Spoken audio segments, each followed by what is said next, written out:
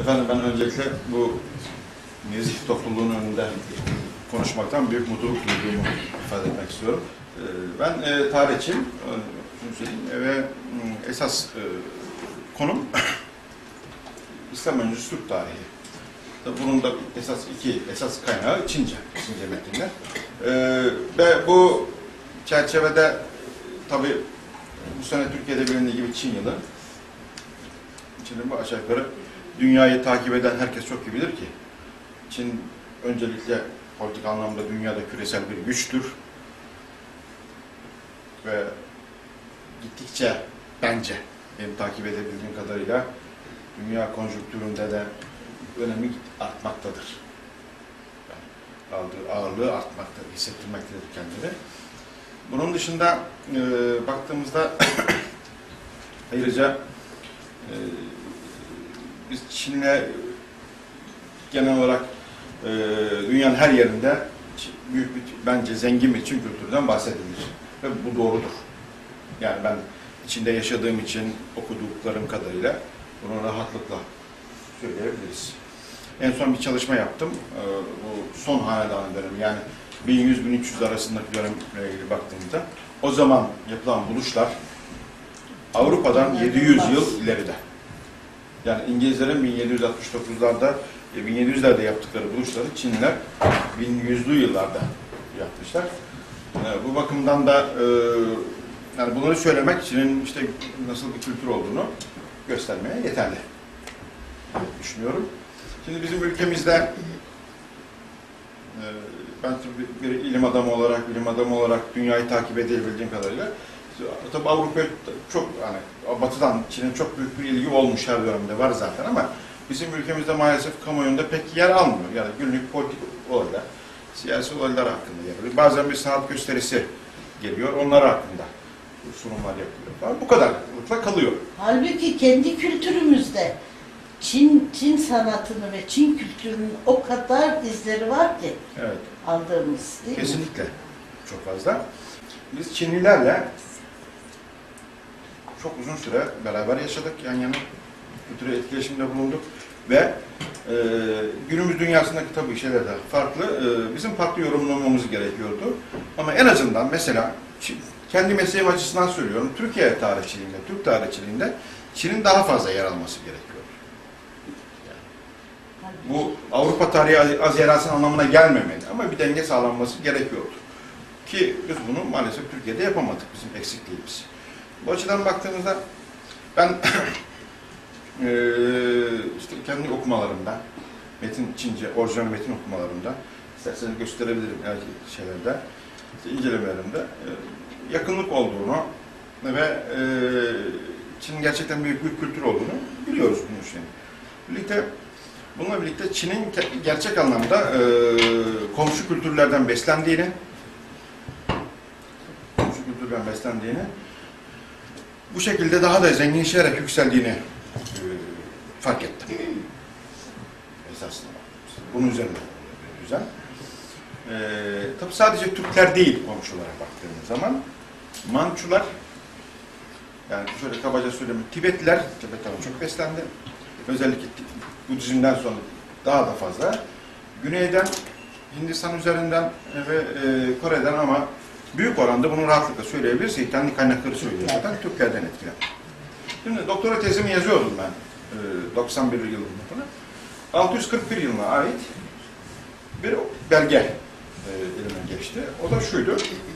Mesela o dönemde Çinliler e, Türk kanunu yıkmışlardı. Göktürk kanunu. Ve Türk ülkesinde Çin kontrolü vardı. Çinler, yani Türkler Çinlerin esiriydi. Ama bu dönemde Çin'de bir moda başlamıştı. Mesela Çin İmparatoru Veliahtı kıyafetlerini değiştirerek tam hocam sizin konunuz e, kıyafetlerini değiştirerek bir e, Türk tarzında işte bozkır tarzında çadır yaptırıyor, kıyafetlerini değiştiriyor ve 200 kişilik bir Türk tarzında askeri birlik oluşturuyor. Bu tam yani bilinenlerin Türkler Çinlilerden etkilendiği şeyin tam tersinde Ama bu evet. E, olabilecek bir şeydi ve bundan sonra o, o zamanki şimdi Şiyan o zamanki tarihi Çin'in tarihi başkenti Hiç görsel bir şey var mı? Buna benzer Evet. görüntüler hocam internette yayınlanıyor. Günden güne yenileri çıkıyor. Ben bakıyorum ama görmedim. Şimdi öyle hocam az sonra o içince şeylerden biraz belki fikir sahibi olabilir, e, olabiliriz diye düşünüyorum. E, bu şeye bakmamız lazım. Şimdi orada ben düşündüm de şimdi biraz daha tabii kafamda o şeyi fark ettim. Biz zaman zaman mesela milattan önceki 380'li yıllarda daha önem önceki yıllarda e, Çinlerin Türk tarzında askerlik e, e, şey, ordularına reform yaptıklarını özellikle pantolon mesela Hı. kıyafet açısından, pantolon açısından Türkleri çok taklit ettiğini kendi kaynakları söylüyor.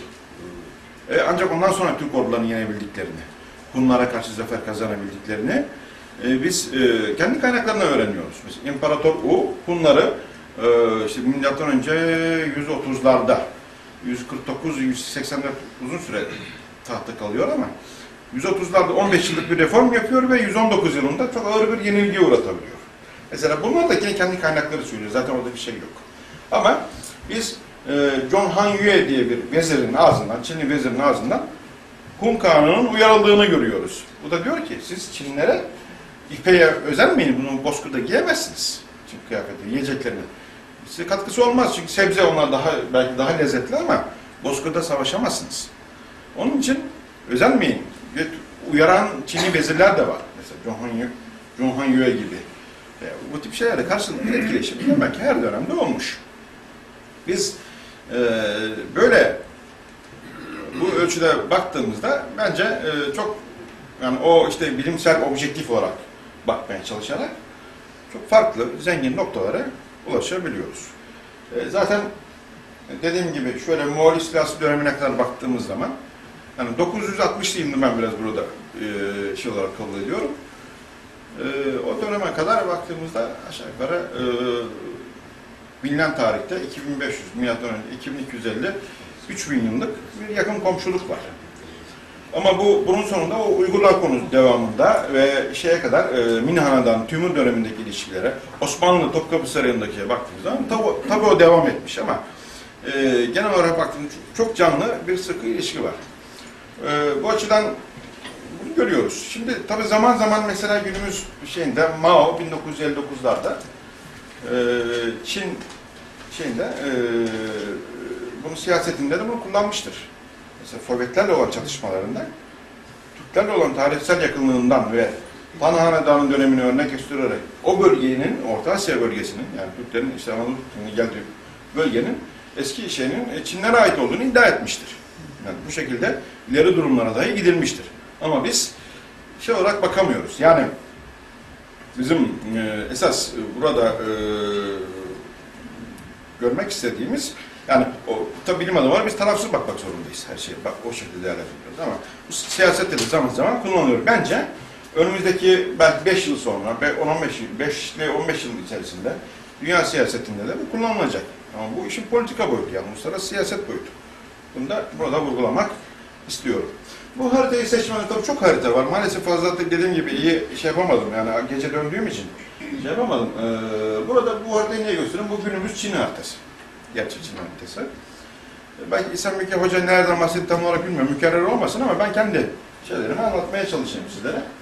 Ee, burada şey dikkatini çekmek istiyorum. Şu gördüğümüz şu Gansu ku- koridoru. Evet. Burada e, özellikle dikkat çekmek istediğim şu şu koridor. Şu burada çok önemli. Şu bölge çok önemli. Mesela tabii e, gerçek Çin gerçek sınırlarına bugünkü şey 1756'da ulaştı. Mançu Hanedanı döneminde. İşte bizim Doğu Türk- Türkistan dediğimiz alanı işgal etti. Tibet bu bölgede daha sonra 1950'lerde işte 49-50'lerde ama e, işte Moğolistan o dönemde bağlandı.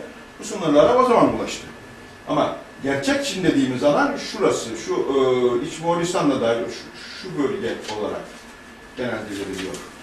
E, diğer haritalarda bunları göreceğiz. Yani demek ki bizim e, Çin dediğimiz zaman tarihsel anlamda Çin dediğimiz zaman bu bölge akla gelmeli. Bu bölge üzerinde Çin kültürü gelişmiştir. Yani işte 25 hanedan diyorlar. Irşıhu Şırday yani e, Irşıhu Şırday e, 25 Ve onların mesela bütün tarihi bunun üzerine tabii ki ilişkiler var etrafta. Ta Araplarla, Bizanslar, Roma ile Roma İmparatorluğu dahi, dahi bağlantı var onlarla ama e, esas gibi bu bölge akla gelmelidir. Şu gördüğümüz alanda e, gerçekleşmelidir. O yüzden bu haritayı göstermeye çalıştım ve bunun üzerinde bakmak lazım. E, ve Çin'i burada biraz daha baktığımızda normal e, haritalarda bu e, Tibet'in kuzeyinden ve işte Sinken dedikleri Doğu Türkistan sahanın güneyinden karanlık dağları, Kunlun dağları uzanır ve bu dağlar Çin'e girdikten sonra Çin'in dağları olur. Bu da ve Çin'in dağları doğuya doğru uzanır ve böyle yayılır. O yayıl, o dağ hatlarını biz e, şey olarak, baz olarak kabul edip Çin'i ikiye ayırıyoruz. Bir Kuzey Çin, bir Güney Çin. Kuzey Çin'de e, ki esas büyük hanedanların kurulduğu yer çoğunlukla Kuzey Çin'dir. Bu Sarıırmak Havzası akla gelmelidir. Sarıırmak Havzası e, akla gelmelidir. Onda e, Sarıırmak Havzası'nda e, da- daha çok e, bilinebilir. Şurada biraz şey baktığımız zaman e, bunu görüyoruz.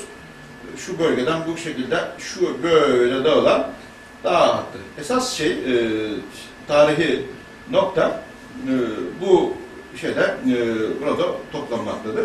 Şimdi iklim olarak güney daha ılımandır, sulaktır. Mesela pirinç tarımı vardır orada.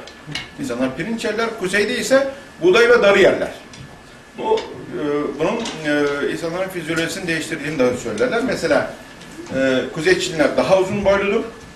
Güney Çinliler daha kısa boyludur. Yani çok basit böyle bazı temel farklılıklarda izah edilmeye çalışılmıştır.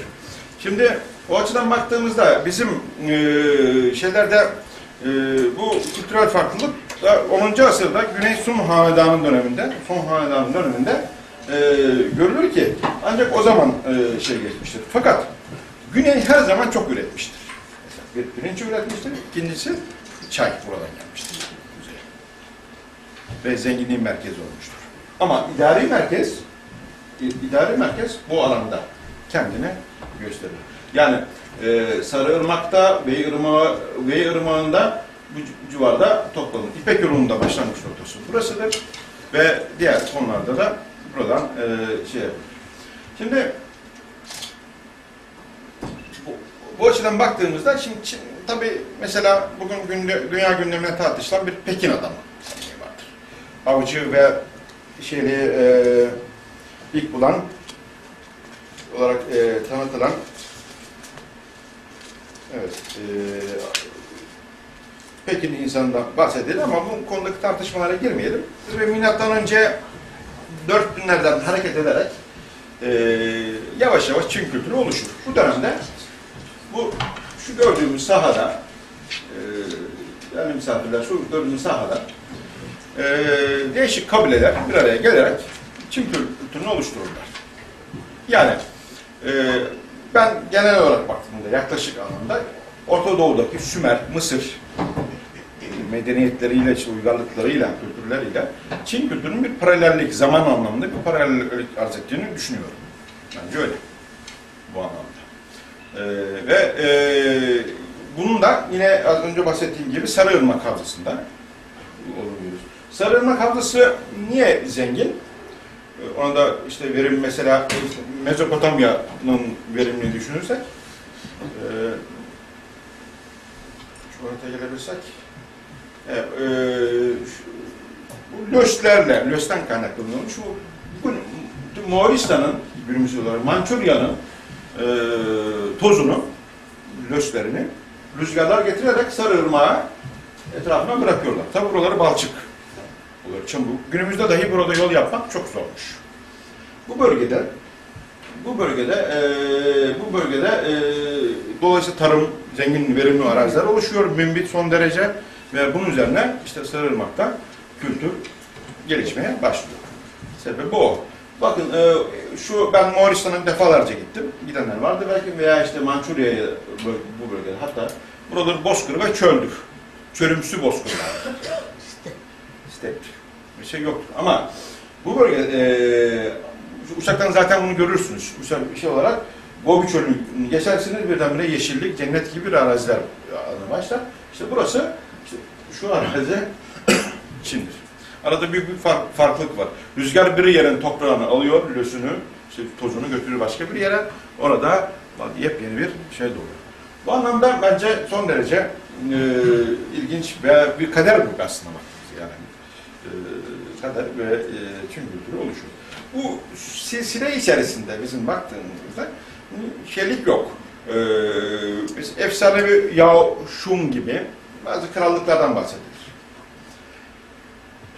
Onlar hakkında genelde işte bunların iyi ahlaklı hükümdar oldukları, genelde ahlaklı iyi olur. İşte kötü olduğu zaman, gen- genelde efsanelerde anlatılan, kötü olduğu zaman devletleri yıkılır.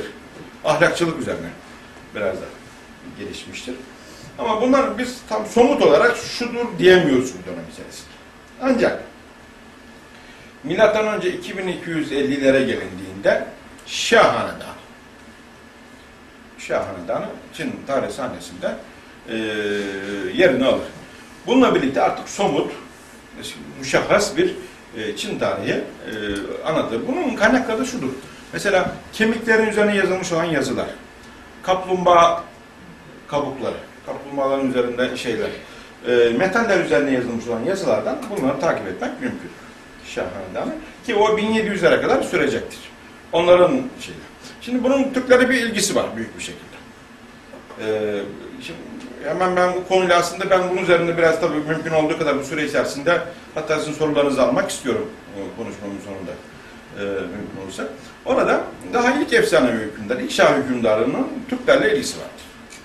Hem kültürel hem de bir akrabalık, kız alıp verme konusunda bir ilgisi vardır. Ve artık burada e, Çin'in etrafında ki kavimler kaynaklarda yer alır genel isimler olarak. Mesela kuzeyde yaşayanlara Di derler. Efendim? Di. Di. Di. D iyi evet hocam. Di'dir. Evet, yani Çincesinde yazabilirim şu şey Yok, olarak ama. biz onu nasıl olsa anlamayacağız. Ee, şey olarak şimdi bu genelde kürklü e, bir insanı e, yani işte kürklü bir şey hayvan gibi bir şey e, tasvir yani kıllı adam. Evet. Daha doğrusu Kuzeyliler kürk yedikleri için o şeyden, Ha. o şeyden. Şeyden ise e, Tibetliler ise Ron diye. Batılı, Tibetliler demeyelim burada biraz yanlış olur. Batılılar ise Ron olarak e, anılır. Güneyliler ise Man olarak anılır. Daha çok bunlar herhalde böcek falan yedikleri için böcekle ilgili bir kelime. Karakter kullanılmıştır. Şeydekiler ise Doğudakiler ise İ. Yani o biraz Budizm terimi bir yerde. Belki onlara Budist olduğu bir şey için daha mı yakın görürler onu bilemiyorum. Ee, bunlar genel isimdir. Tabii yabancıları tanımlıyorlar bu anlamda. Ama bu dönemde şimdi mesela e, Türk Almancadan, bu Almanca onun T olarak yazılmış. Mesela bazı e, bilginler Dögrot veya işte şeyler o D, D, T kelimesini Türk adının ilk şekli zannetmişlerdi. O yanlıştır mesela. Öyle yazar kitaplarda, şu kitaplarda o yanlıştır. O, o bir terimdir artık. Çince bir kelimedir. Türk kelimesi Tucu olarak yazılır Çince'de. Tucu o dönem, bu dönemler içerisinde. Ee, şey olarak yazılmaz. Ve şey kurulur. Şahanedan'dan sonra e, o e, işte Türklerle ilişki, komşularla ilişkiler başlar. Yani Çinliler ilişkiyi kurdukları ölçüde Türkleri de anlatırlar. Türklerin atalarını da anlatırlar. Mesela e, genelde işte ahlak ve ahlaksızlık üzerine de bazı şeyler kurulur ama bizim o geçen az önce haritada gösterdiğim şekilde e, şu bölge şu bölge e, Gansu koridoru diyorlar buna. Şöyle baktığımız zaman. E, Türklerin en eski yurdu olan Güney Sibirya, Moğolistan'ın bu bölgeden Türklerin Çin'e akın yolu olmuştur. Burada bunun ilk izlerinden görüyoruz. Yavaş yavaş. Mesela karşı dediğim gibi kuruyor. Genelde tabi burada mesela Şemli tribes dedikleri bu işte Mançurların ataları olan Şem beyler onlar da gidiler ama o dönemde Moğollar yoktur. Yani bizim mu- mu- somut olarak Moğol diyebileceğimiz kabileler yoktur. Moğolların ataları olarak sayılabilecek olanlar da yok. Daha henüz görünmüyorlar. Onlar da şu Sibirya'daki e, Baykal Gölü'nün doğusundaki ormanlarda yaşıyorlar o anda. Bu dediğim milattan önce 2000'ler. Ve e, Şah Hanedanı yıkılınca yerine Şan Hanedanı kurulur. Onun burada bir haritası var. Ona bir geçelim. Evet bu. Şan Hanedanı kurulur 1700'lerde.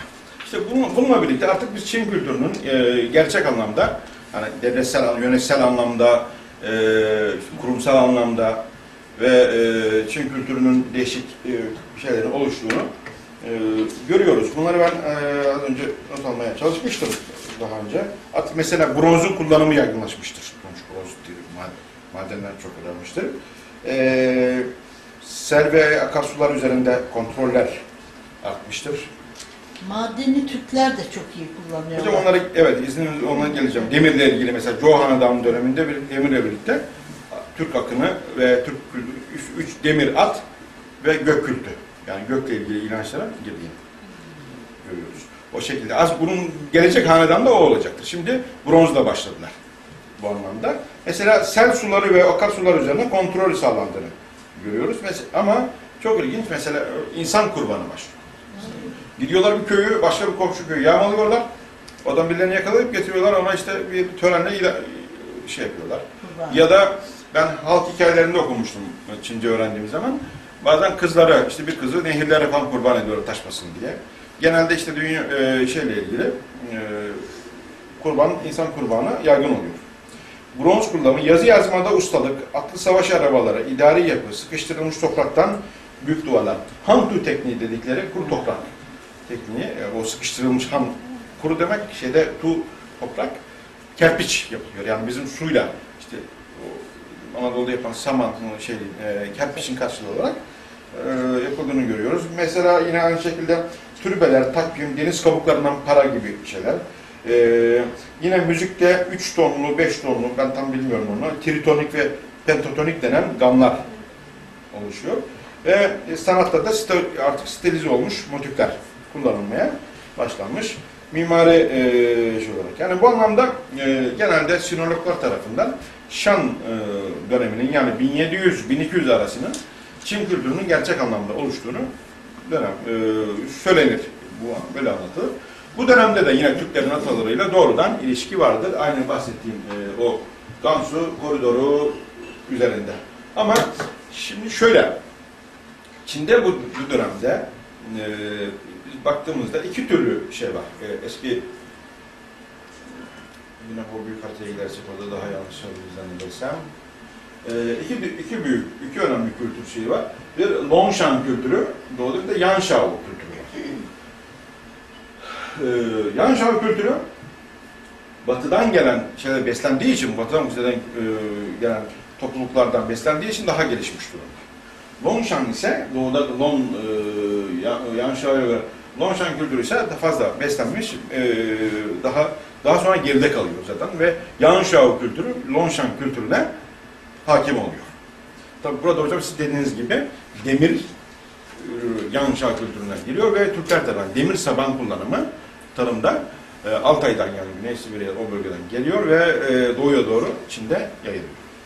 Yani burada Çin kültürüne Türklerin katkısı şeklinde. Görün mesela bir de ilginç bir belki not burada. Şan toplumu 200-300 arası sayısı değiş- değişen kabilelerden müteşekkil. Henüz öyle kurumsal yerleşik bir yapıya daha kavuşmuş değil gibi görüyoruz. Evet. Yine kral e, nihai imparatorun kaynağı olarak e, kral ve onun şeyleri bu şekilde görüyor. Şimdi ben e, devam edeyim bu notlarıma bağlı kalmadan çünkü aklıma başka güzel şeyler de geliyor anlatmak üzere. Burada e, şeyle birlikte artık 1100'lere gelindiğinde yani milattan önce 2012. asırda pardon bu şu Joe'da görelim. E, bu Joe'ların ikinci dönemi aslında e, gelindiğinde artık e, bakın bahsettiğim değil bu hocam şeyde. Evet. O Chuanrong, tam- tanıdıkça şeyler oluyor esasında. Ve mesela Shun mu? Hun ismi daha görünmüyor. Burada. Ama Yan Yun mesela bunların atılı olarak gösterilen. Ee, Yan Yun, Xian Yun, e, Shun Wei gibi isimler kullanılıyor. Yani o Çince kaynaklarda. Hun ismi ilk defa 318 yılında kullanılacak. Milattan önce 318 yılında. Bunlar kedilerine ne diyorlar? Hocam onu bilmiyoruz. Nasıl Türkler hep yabancılar Türk dediyse Osmanlı şeyinde, mesela Osmanlı döneminde. Türk diyor, Ee, kedileri yaz. Osmanlı yazdığı için onun gibi herhalde o dönemde. Evet. Ee, şey kullanılmadı. O konuda belgemiz yok. Şimdi e, ama Hun kelimesini halk olarak açıklıyor. Bu şekilde kün, halk gibi e, bazı iddialar, teoriler var. Ve e, Zhou Hanedanı. İşte Zhou Hanedanı döneminde biz Türklerle olan ilişkilerin biraz daha yoğun olduğunu görüyoruz. Bunda az önce işte sizin ifade ettiğiniz gibi demir, demirin kullanımı e, çok önemli. Demirle ilgili eşyalar başlıyor ve bunun batıdan geldiği, yaygınlaştığı belli. Yine aynı dönemde e, at ve bu da mesela atta e, ama daha önce de at var belki ama at arabaları var. Bu sefer at arabaları bırakıp süvari olarak ata binmeye başlıyorlar. Yani Çin, Çin'de müthiş bir at kültürü var. Var. Ama zannediyorum ki Orta Asya'da at yetiştirme bakımından daha ileride. Bakın hocam, size, size bir rakamlar vermeye çalışayım. Tan Hanedanı Çin tarihinin en büyük hanedanıdır. Güç bakımından falan. Şey kurulduğu zaman e, bir hara var. E, bak şöyle şuralarda e, tam böyle Gansu bölgesinde başkente yakın. E, orada 3000 e, ilk kuruluşunda 3000 at varmış. Şeyden sonra e, 50 yıl sonra orada 700 bin at var bir harada.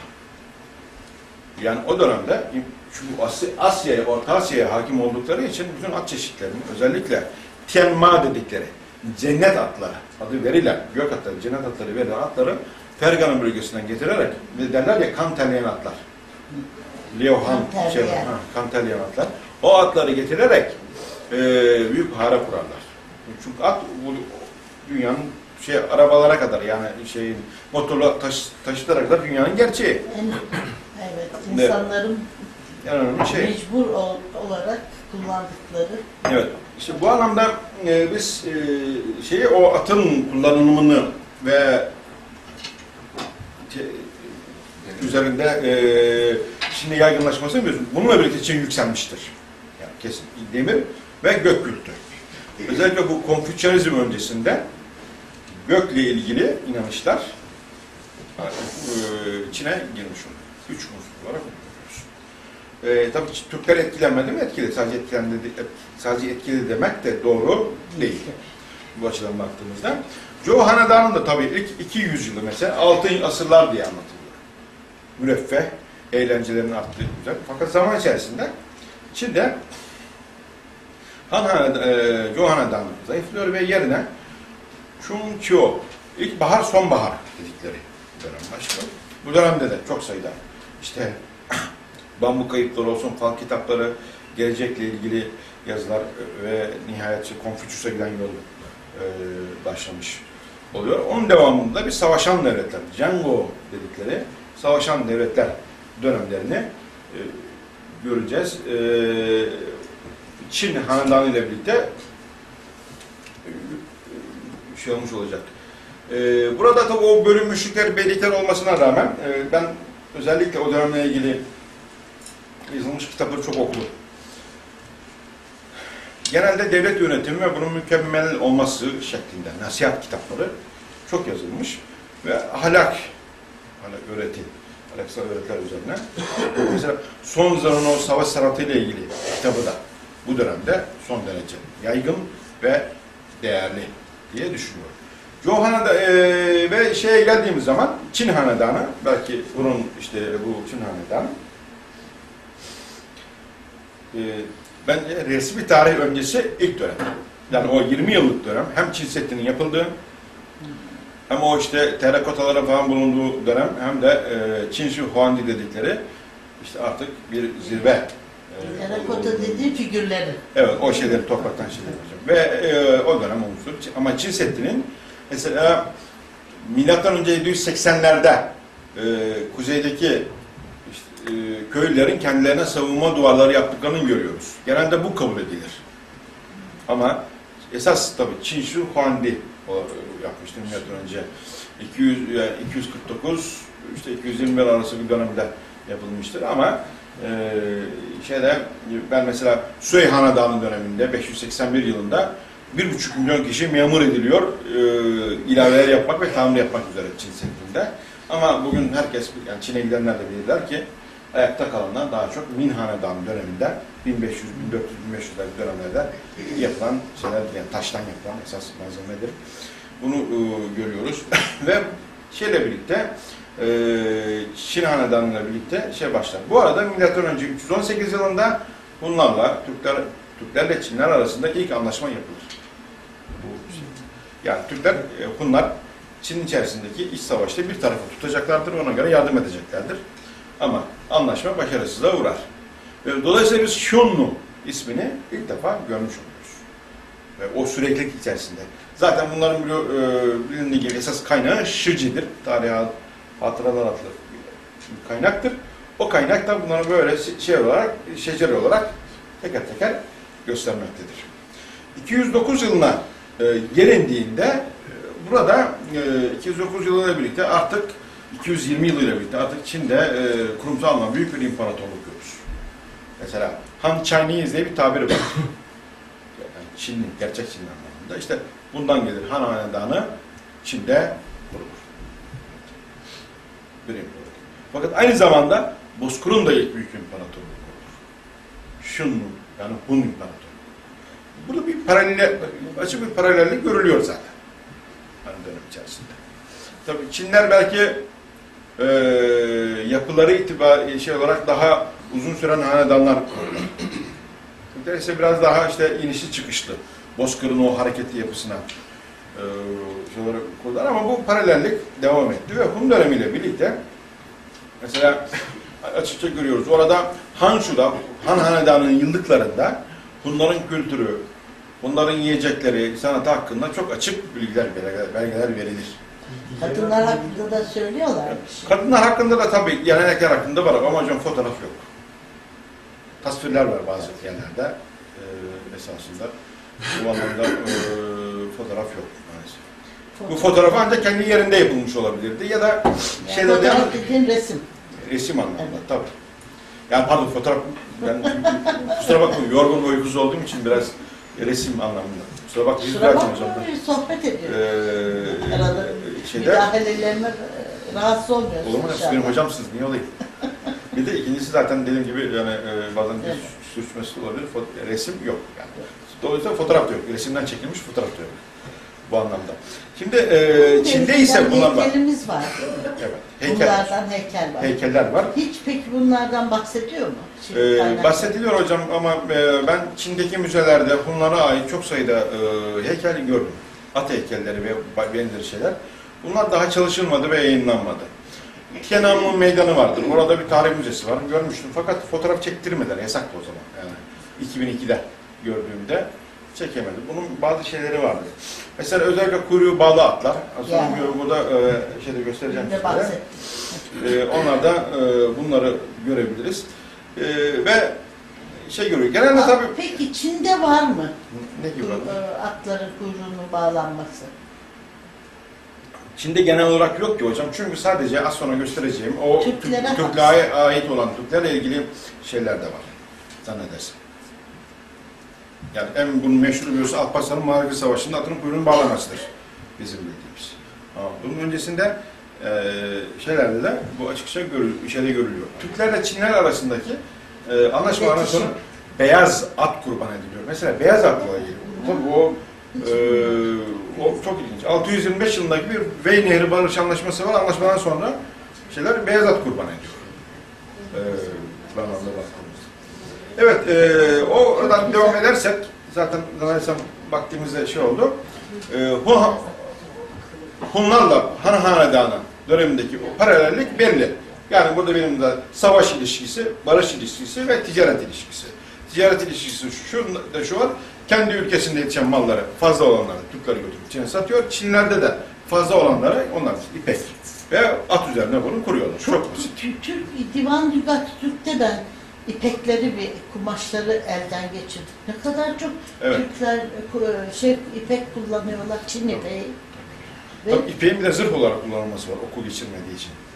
Böyle bir özelliği de varmış. Öyle mi? Tabii. Ee, peki ha, Hem hafif ayrıca. Şimdi şimdi çok tuhaf bir şey aklıma geldi. Özür dilerim. Belki faydası da olur. Mesela Topkapı Sarayı'nda eee, s- e, zincir zırhlar var. Evet. demir. Fakat onun üzerine incecik e, Çin ipeği. Yani koskoca kalın zincir gömleği düşünün, siz zırhı düşünün. Üstünde incecik Çin ipeği. Hocam, Yani hiç bunları ikisini birleştiremedim kafamda yani. Hala ondan dolayı hocam hazmedemedim. şey oklu geçirmedi. Onu bilmiyorum, hiç bilmiyorum. Oklu geçirmedi. Aslında geçiriyor da yırtılmadığı için oku dışarıya çıkartması kolay oluyor diyor. Ben e, yani bir de onu iki katlı yapıp içeri içerisinden e, bu şekilde. E, bir de en önemlisi hafif tabii. Çok. Mesela zincir, Avrupa'daki zincirler, o şey zırhlar olan fark da orada. Şimdi mesela Sibirya'da falan, ben Sibirya'daki müzelerde görmüştüm. Çok o Krasnoyarsk müzesi çok ilginçtir bu konuda. Minnesunis Krasnoyarsk. Orada da mesela çok hafif zırhlar. Yani daha hızlı hareket etmeyi sağlaması lazım. Ama önemli olan bence bunların sembolik anlamlarından çok uygulamada katkılar. Bunun bir sebebi olması lazım. Ee, Daha sonra Hunlar yıkıldıktan sonra e, Türkler bir sürü şey olarak tabii büyük çok büyük Çin'e doğru büyük bir e, Türk göçü olur. Şeylerde. E, burada o haritaya bir daha gidersek Pardon. E, bu bölgeye Kuzey Çin'e şurada Hunlar yıkıldıktan sonra bu bu bölge burada on, önce 19 Hun Beyliği, daha sonra 3 Hun devletçiği kurulur. Çin topraklarında. Yani Hunların devamı Çin topraklarında. Fakat bunun da yerine esas Tabgaç, Toba adı verilen bir devlet kurulur ki o tam bir bozkır karakterindedir. Bunlar işte Şemliler de vardır, Hunlar da vardır ve eee, yaklaşık işte 430'lardan 550'lere kadar kurulur ve Tabgaç diye bizim kaynaklarımıza geçer. Türklerin içinde kuruluyor. En önemli, ilk büyük devlettir diyebiliriz. Bunun bir özelliği Budizmin Çin'de yayılmasına bir katkı sağlamasıdır. Hatta bu dönemde, ve bunun öncesindeki Pinyan Hunları döneminde burada ilk üniversite tipi kurumlar kurulmuştur. Türkler tarafından. Yani bence Türklerin ilk üniversitesi bu Pinyan dediğimiz o koridorda göster gösterdiğim yerden e, kurulmuştur ve Budizmle ilgili tabii medrese dini eğitimde verilen. E, o Tabgaç devleti zamanla Budistleştikten sonra Bozkır karakterini kaybeder ve Wei adını alır Çin'de. İşte ikiye bölünür. Bunları görebiliyoruz. Ve arkasından e, Viyana'dan e, bizim bildiğimiz Türk Tucuye anlamda Göktürkler meydana çıkar 552'de. Yine onu ben bunu kısaca toparlayayım daha sonra döneceğim. Ee, arkasından aynı dönemde e, Göktürkler 200 yıl e, yaklaşık sürdükten sonra Uygur Kağanlığı başlar. Onlar önce 100 yıl sonra bölündükten sonra uzun süre Budist ve Maniheist daha sonra Müslüman da olarak günümüze kadar varlıklarını devam ettirirler. Göktürkler yıkıldıktan sonra biz Orta Asya'nın e, doğusundan batısına doğru bir Türk nüfusunda yoğunlaşma görüyoruz ki işte Karahanlılar, Selçuklar, Gazenler ve artık Türk tarihi farklı mecrada akar. Ben niye 960 tarihini verdim dersen burada e, artık son bu bölgedeki hakim olan Kırgızlar, Türk kökenli olan Kırgızlar bölgeyi kaybederler. Geri, e, Sivriye bölgesine çekildikten sonra artık Moğolistan'da, Moğolistan dediğimiz sahada bu bölgede e, Türkler kalmaz hakim olarak. İşte Cengiz Han İmparatorluğu'nda bazı Türk kabilelerinin boylarını görürüz.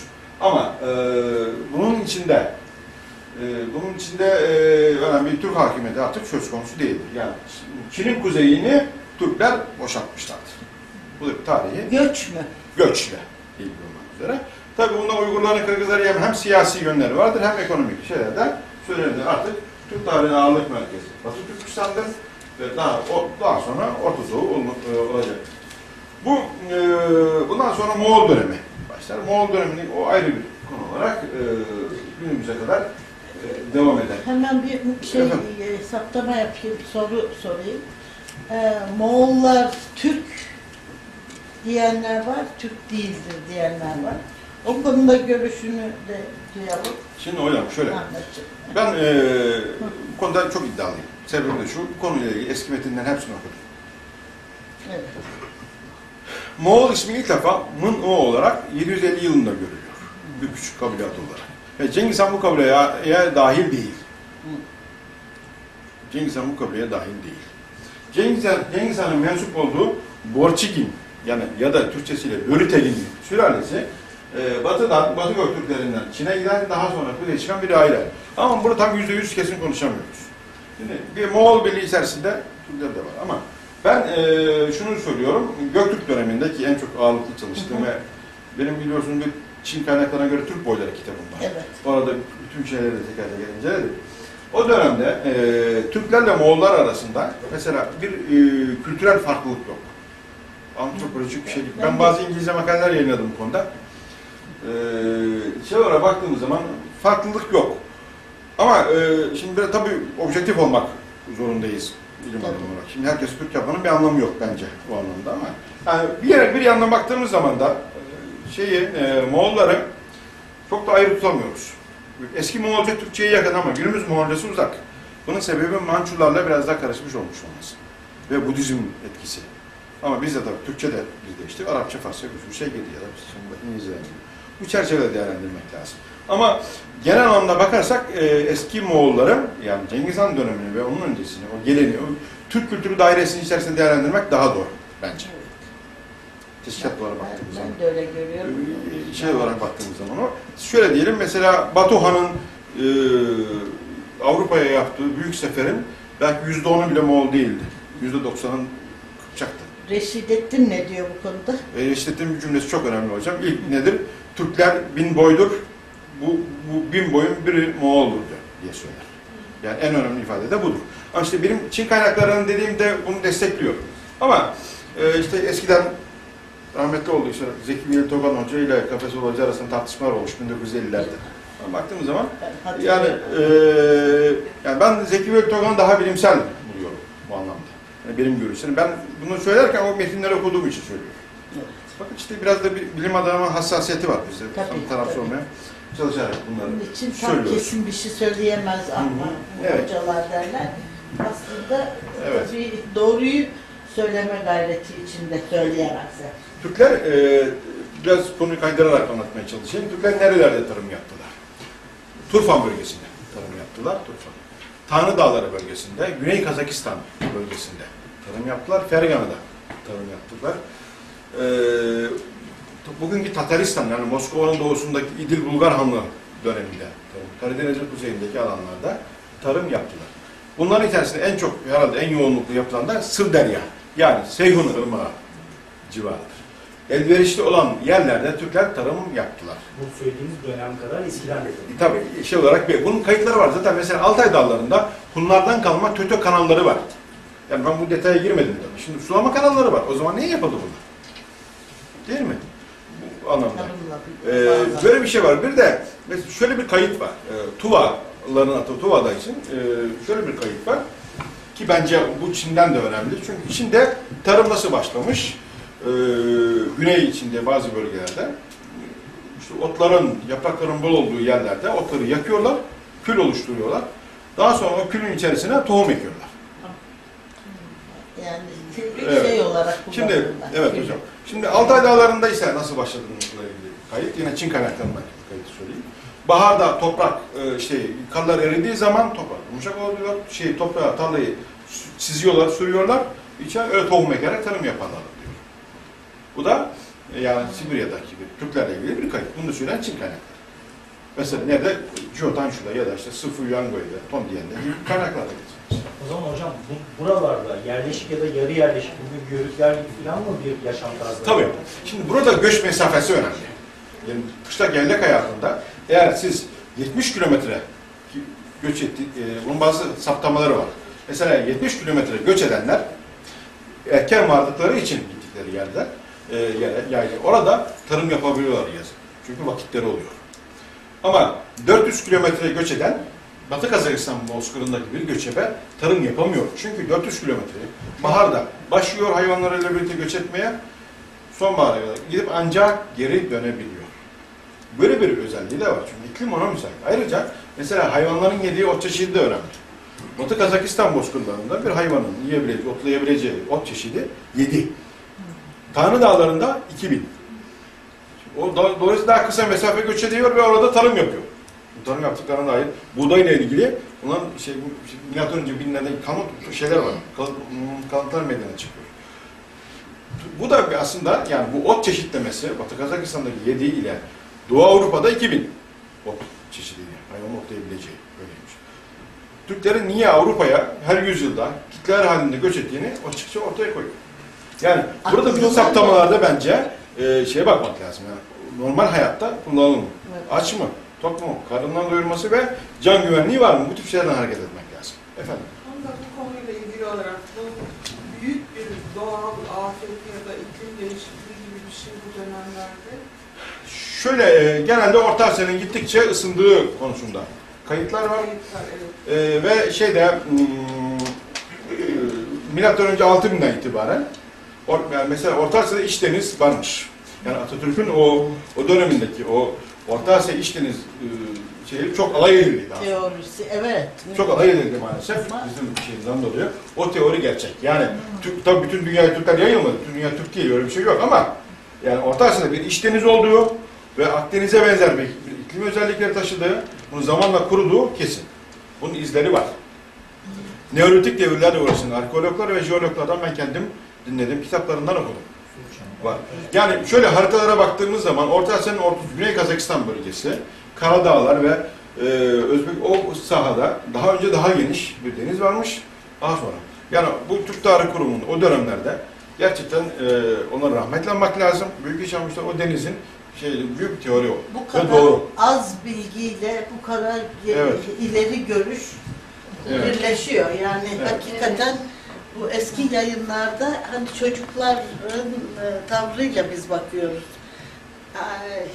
Hep hayrandır küçükken anne babanın bilgisine. Ondan sonra büyür büyür. Onlar da ne biliyor keski kafadan. Ondan sonra daha büyüdüğü zaman tekrar ne kadar haklılarmış da. Onun gibi bir şey var. Şimdi e, eski ustaların yayınlarına bakıyorum ben. Celal Esat E- Arseven'in ağzım açık kalıyor. O devirdeki bilgilerle nasıl toparlamışlar da o eserleri bize bırakmışlar. Çok daha iyi değerlendirebiliyoruz. Yani e, ben gençliğimde ben o kadar değerli olduklarını anlamamıştım. Yani gittikçe işte herhalde biz, biz de büyüyoruz herhalde. Çok çok teşekkür ediyorum. Bu teşekkürümün bir belgesi.